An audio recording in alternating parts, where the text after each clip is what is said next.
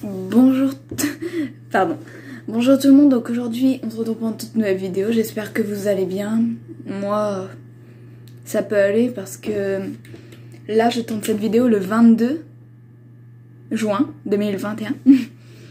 Et qu'il y a 5 jours à peu près, bah, ça faisait un an que ma chienne était décédée. J'ai donc voulu prendre de mon temps avant de refaire une petite vidéo.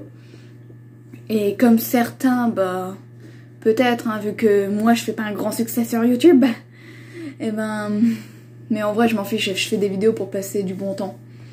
Et eh ben, je voulais faire une vidéo, les pires critiques du labyrinthe, la terre brûlée. On va commencer avec une petite critique qui obtient deux étoiles. Bof bof. Voilà ce qui m'est venu immédiatement à l'esprit en sortant de la séance. D'un côté, l'action est là, ça court, ça tire, ça recourt et ça retire. Je suis, je suis d'accord. Mais on trouve quand même un moyen de s'ennuyer par intermittent, faute d'un scénario original, faute origine pardon, original, faute de rebondissement et faute de dialogue captivant. Je ne suis pas certain d'être prêt pour un troisième volet. Ma fille de 13 ans l'est un peu plus que moi, même si elle aussi a émis quelques réserves. Bon, je veux pas être méchante pour vous, hein. Mais en fait, euh, c'est vrai que le deuxième film, c'est pas trop mon préféré. Mais à dire que là, que là on peut s'ennuyer. Bon, c'est vrai, à partir d'un moment, je m'ennuie, c'est quand Thomas, il est avec Brenda, ou qu'on voit plus les autres. Ça m'ennuie, du coup, moi, je suis sur mon téléphone en attendant. Mais bon, sinon, je suis pas totalement d'accord pour dire que c'est bof bof, quoi. Le suivant.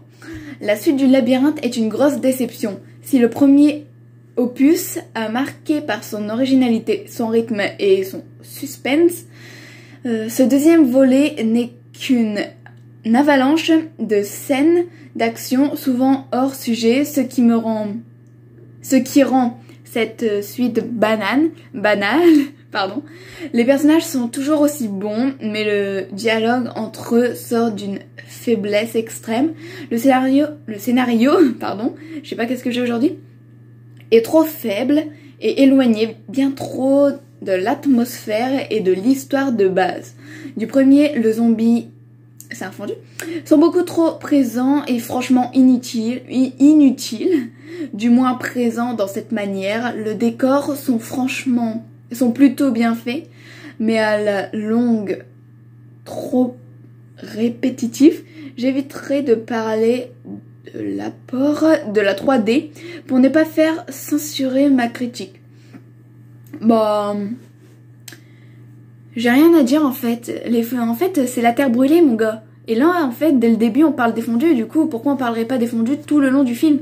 Par contre, à la fin, j'avoue, quand Mino s'est fait capturer, j'ai pleuré. non, en vrai, oui, j'étais triste, quoi. J'ai pleuré qu'une fois en le regardant. Ou deux. Trois. Non, deux. Non, je l'ai regardé que trois fois, le film. La première fois en 2014, le tout premier. Et en 2015, j'ai regardé la moitié du deuxième et après, j'ai complètement oublié des radars. Je m'en suis souvenu en 2020 quand une amie, qui se reconnaîtra, ma meilleure amie, m'a rappelé l'existence de ce film. Et depuis, je suis fan. Non, je n'ai pas de DVD. Non, si j'en ai. Allez, suivante. Quelle horreur J'avais adoré le premier volet. C'est vrai que le premier volet, c'est toujours le meilleur pour moi. Euh, volet film de science-fiction génial et inventif avec une histoire captivante. Et là, plus rien à voir avec ce, film. Je lis dans sa langue que j'avais aimé. C'est plus, c'est plus un film d'horreur gore avec une marée de zombies insupportable. L'histoire n'a pas d'intérêt, dommage car j'en attendais beaucoup et je suis très déçue. Euh, moi j'ai pas... ça va quoi. En fait, la première fois que j'ai regardé, je me suis dit ouais, il va être génial. La première fois que je l'ai regardé, je l'ai trouvé limite, limite ça pouvait devenir mon préféré. Mais au final, ensuite, le troisième était mon préféré. Et ensuite, je me suis dit, ouais, mais le 1, quoi. Le 1, il y a tout le monde, quoi. Il y a Thomas, la de Teresa. Il y a Newt, surtout, qui débarque. Moi, je le kiffe. Bah, bref, tout ça pour dire parce que moi, je kiffe. J'ai beaucoup aimé, en tout cas. Mais j'ai beaucoup moins aimé... Euh, Euh, en fait, je sais pas, il y a un truc dedans qui me dérange, du coup, ce n'est pas trop mon kiff. Ensuite, autre commentaire. Ce machin est une honte profonde. Pardon, l'esprit mal placé, vous connaissez. Pourquoi ce titre de labyrinthe Qu'est-ce qui, qu'est-ce que vient faire Giancarlo Esposito dans une bouse comme ça? Déjà, c'est Giancarlo Giancarlo. Je sais pas, attendez. Ah non, il a raison, c'est Giancarlo Esposito. Moi, je dis Giancarlo, pas Gian. Oh, il a 63 ans par contre. 1m73. Ouh, oh, il a des enfants. Par contre, je ne vois pas sa femme. Ouais, ça y est, on va s'intéresser à sa vie. Je m'intéresse. Hein. Bon, allez, on continue. Euh, dans une bouse comme ça. Ce film part dans tous les sens, sauf le bon. Ah, ça part sur des zombies, puis en fin de compte, non. Plutôt de la résistance, puis en fait, non. Ça part dans n'importe quoi. Le pire dans, dans, tout ça, la note de la communauté. Bah alors? Moi, euh, chacun ses goûts de film, quoi Non mais sérieux Pardon, je m'emballe un petit peu trop. Suivant. Vous avez vu J'ai même pas fait de pause. J'ai le temps de chercher mes commentaires en voulant dire ce que je veux. Dans le premier volume, volume, ouais, Thomas et sa clique, il s'écrit dans Teen Wolf, comme Chris Sargent le dit à Scott, dans sa clique court pour s'échapper du labyrinthe. Et Chuck bait. C'était plutôt plaisant. Dans le second, il court toujours, mais cette fois-ci dans un univers apocalyptique de toute beauté. C'est de toute beauté. Pardon, je pense. Malheureusement, à force de courir, ils ont fini par me perdre en route. J'ai vraiment une gamine. Je sais pas pourquoi j'ai rigolé à ça. C'est vrai que moi aussi, ils ont fini par me perdre en route. Je vous jure, vous allez en Alaska, punaise, il pleut. Vous allez en Alaska, vous me trouvez.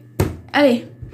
Je trouve que ce film est vraiment très décevant. À mon avis, je n'ai pas bien apprécié, j'ai eu du mal à tenir pendant tout le film. Dommage, le premier volet était intéressant, mais pas cette suite. Ouais, c'est vrai. Moi, en fait, je sais pas. Y a plein... Oh merde Pardon, j'ai quitté sans faire exprès. Oh, on se retrouve après. Et on part sur un dernier commentaire.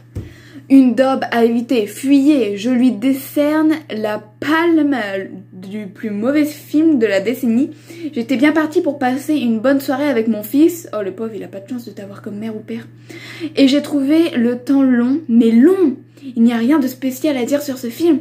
Tout est bâclé, le scénario et montage en passant par le jeu des acteurs. Il n'y a pas de cohérence, c'est complètement absurde et sans lien dans le déroulement, une daube à éviter, fuyez.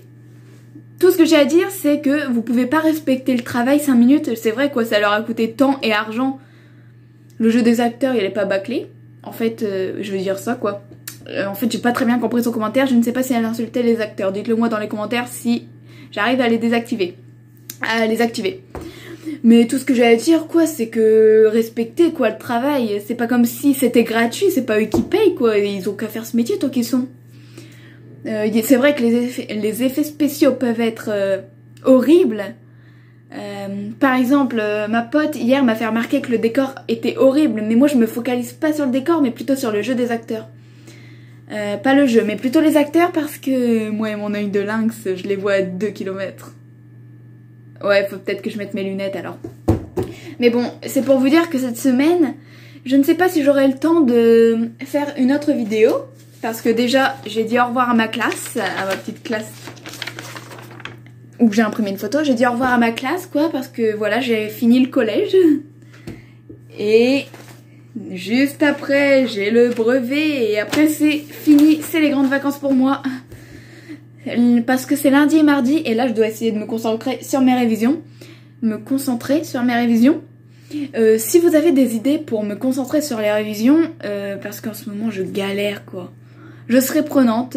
Donc voilà, je vous dis à la prochaine et si j'ai mon brevet je vous le dirai évidemment. Si je l'ai pas, bah je serai grave triste quoi. Parce que certains d'entre vous qui me suivent depuis longtemps, vous savez que j'ai une dyslexie. Et du coup, j'ai du mal à retenir, euh, etc. Et pourtant, il n'y a aucun de mal, je le vis très bien. Je me sens pas différente. Et je suis pas comme tous ces gens qui disent Ouais, j'ai envie de me. Vous avez compris, me jeter d'un pont. Moi, je. J'avoue, j'y ai déjà pensé, je le dis encore.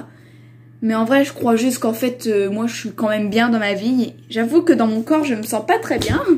Mais en fait, je vais mieux me sentir pendant les vacances avec ma mère. On va faire du sport. Je vais même peut-être faire une sorte de séance comme Thibaut InShape il fait. Je rigole, hein. Mais bon, je, moi, je suis pas comme ça. Je sais même pas comment j'ai fait pour arriver à cette discussion avec vous là dans cette vidéo. Mais bon, tout ça pour vous dire que, bah, vous devez sourire quand même à la vie, quoi. La vie est pas si horrible. Vous avez toujours des trucs bien dans votre vie. Vous, vous avez par exemple euh, les réseaux sociaux, où il y a des gens, ils ont même pas 1% de ça.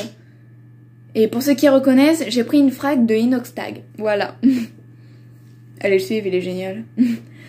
Mais je veux dire, lui, il a grave raison, quoi. Euh, il y a toujours un truc bien dans notre vie. Et je comprends pas pourquoi tout le monde dit, ouais, je me sens mal dans ma corps. On est comme on est. Il, y a, il faut de tout dans ce monde, des grosses, des minces, des pas beaux, des beaux. Mais on est tous beaux à notre façon. C'est ce que je pense, moi. Euh, je comprends pas. Euh, mais moi, je trouve qu'on est tous beaux comme ça. Comme ça.